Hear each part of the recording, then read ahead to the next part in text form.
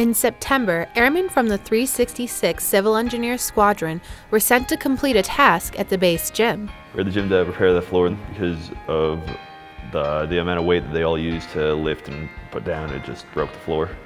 They were tearing up the floor when they began finding five or six notes scattered throughout, each sealed in a plastic baggie. The note we found says, If you find this paper, I assume you are working on the floor. If so, please search for my wedding band that I lost under this floating floor in 2011. The hunt for the ring began, and within a couple of hours, it was found. We found the ring right about right here. The find made this job very different from other jobs. Usually when we're tearing walls apart or floors, we'll find old Gatorade bottles or just garbage that people have left in the wall from the past. This time we found something a little more valuable. The ring was given to the fitness center director, who then sent it to the original owner within the same day. It was found about 9 o'clock. The post office opens 11. We put it in the mail at 11 o'clock. Mr. Holmes was working on base when the ring was lost and could not believe that it was found.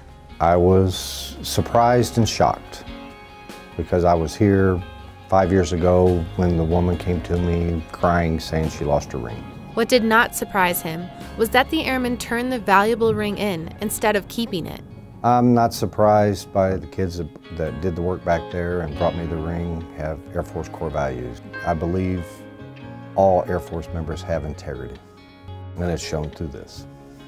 A once lost ring is now a shiny example of how in the Air Force, integrity always comes first.